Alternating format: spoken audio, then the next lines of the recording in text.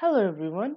In this video, we will cover how to adjust the volume using the volume mixer. So what is the volume mixer? So the volume mixer lets you increase or decrease the volume for all the programs and it also lets you to increase or decrease the volume for a specific program.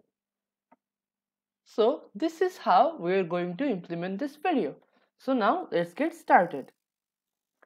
So now we are at my desktop and to open the volume mixer we have to right click on this volume icon and click on the open volume mixer.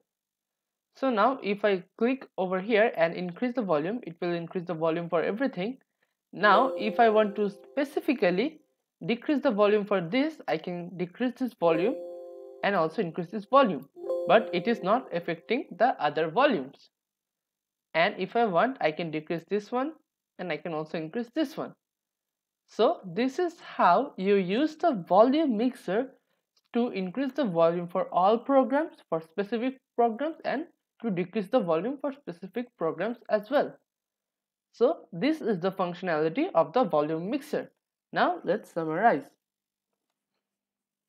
So in this video, we learned to use the volume mixer to adjust the volume for all or specific programs.